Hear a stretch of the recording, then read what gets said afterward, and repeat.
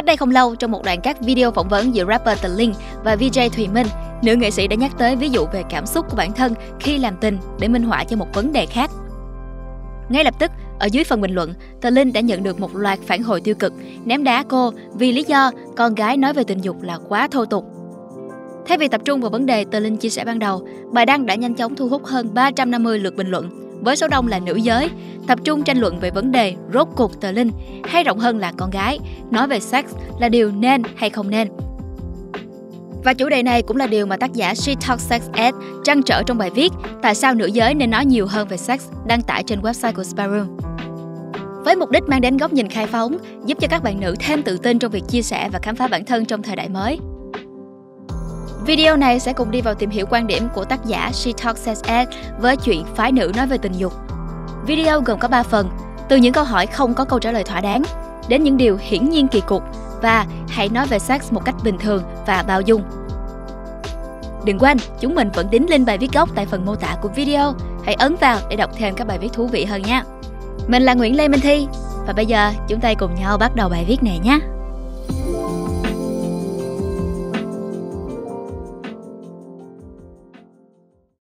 Từ những câu hỏi không có câu trả lời thỏa đáng Cách đây một vài năm, khi mình bắt đầu chia sẻ với một số bạn bè của mình rằng mình quan tâm tới sex education hay vấn đề về giáo dục giới tính, thì phản ứng của hầu như tất cả mọi người đều là Wow! Vì rất hiếm khi họ gặp một người, đặc biệt là nữ, có một niềm quan tâm tới chủ đề ai cũng nghĩ tới, nhưng không ai nói ra này. Trong con mắt của mọi người, mình hẳn phải có một lối sống rất cởi mở và phải thật dũng cảm. Sự thật thì, mình chỉ là một người theo chủ nghĩa công bằng, một người có rất nhiều câu hỏi và luôn cảm thấy ấm ách trong lòng khi nhận được những câu trả lời không thỏa đáng. Và có một điều là những câu trả lời không thỏa đáng và không công bằng nhất mà mình nhận được từ khi còn là một cô nhóc ngồi trên ghế nhà trường trung học đến bây giờ lại luôn là những vấn đề liên quan tới sex. Xin lưu ý một chút, trong quan điểm của mình, định nghĩa về sex bao gồm rất nhiều khía cạnh, từ kiến thức về cơ thể, sức khỏe sinh sản cho tới sự đồng thuận trong các mối quan hệ, chứ không chỉ dừng lại ở việc quan hệ tình dục có dương vật tiến vào trong âm đạo. Một vài trong số những câu hỏi mà mình chưa tìm được câu trả lời thỏa đáng có thể kể tới. Tại sao các bác bán hàng luôn cho mình một chiếc túi ni lông đen để đựng băng vệ sinh? Tại sao khi đến kỳ kinh nguyệt thì không được thắp hương hay đi lễ chùa? Tại sao con gái lại phải giữ gìn trinh tiết còn con trai thì không? Tại sao con trai đã quan hệ với nhiều người thì có thể tự hào rằng mình khô ngầu và đầy kinh nghiệm, còn nếu là con gái thì sẽ bị cho là không ra gì? Nói tới đây thì chắc các bạn cũng thấy có một sự ấm ức nhẹ trong lòng đúng không? Vậy mà đây lại là một trong những câu hỏi, nếu mà không nói ra thì sẽ mãi ở đó như là một sự thật hiển nhiên. Đến những điều hiển nhiên kỳ cục. Những câu hỏi không có câu trả lời thỏa đáng như trên chính là động lực để mình tiếp tục đào sâu đi tìm câu trả lời và tìm hiểu nhiều hơn nữa về chủ đề nữ giới và tình dục. Sau này, khi đã tìm hiểu nhiều hơn về sex rồi, mình mới nhận ra là có quá nhiều thứ khác mà mình không biết và mình cũng nhận ra một sự thật khác, đó là Chúng ta lớn lên với một niềm tin rằng sex là một thứ kiến thức hay một kỹ năng mà chúng ta sẽ tự nhiên có khi đến tuổi, chẳng hạn như đến tuổi lấy chồng. Chúng ta tin rằng chúng ta sẽ và chúng ta nên làm tốt theo bản năng tình dục mà chúng ta tự có ấy. Bạn biết đấy, từ nhỏ chúng ta được dạy những bài học cơ bản của việc làm người. Khi lớn hơn, chúng ta học cách học như học văn, học toán. Lớn hơn chút nữa, chúng ta học cách kiếm việc làm. Thế nhưng, ở lĩnh vực sex, chúng ta lại mặc nhiên phải biết cách quan hệ tình dục, mặc nhiên phải biết dùng bao cao su, mặc nhiên phải biết lên đỉnh, mặc nhiên phải cảm thấy vui vẻ thoải mái với sex.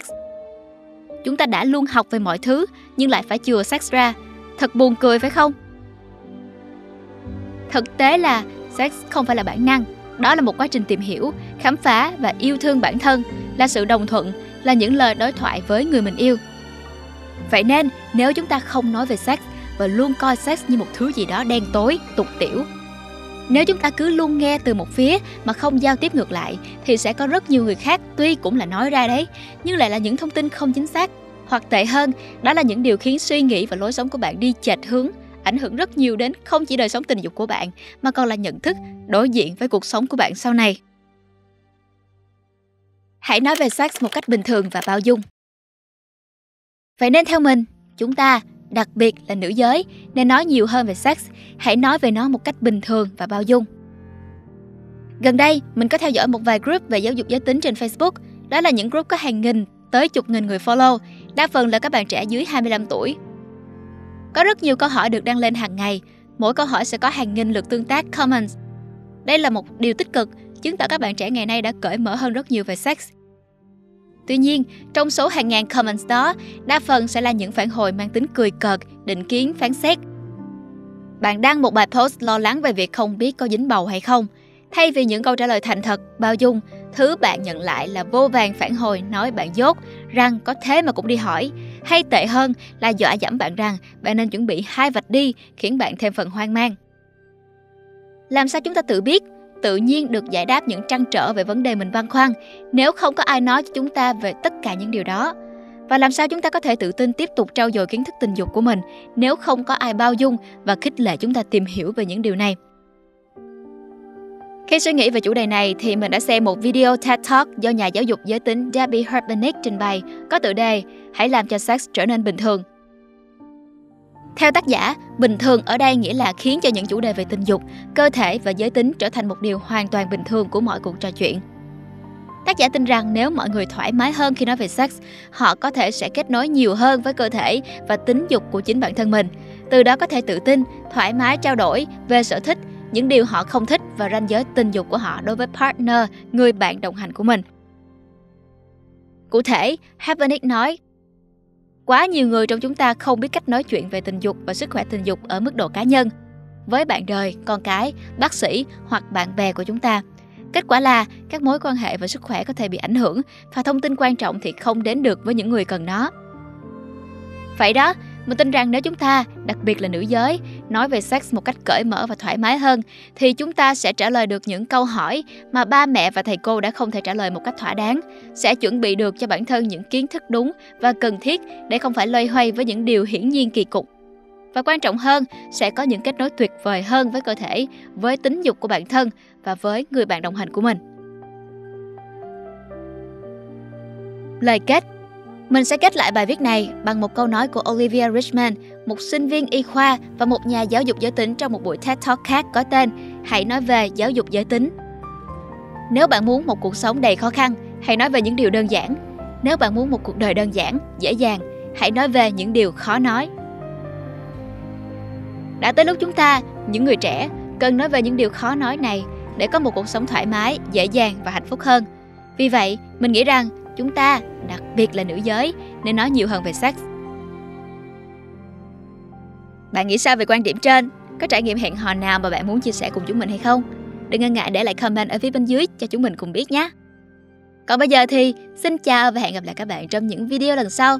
Mình là Nguyễn Lê Minh Thi.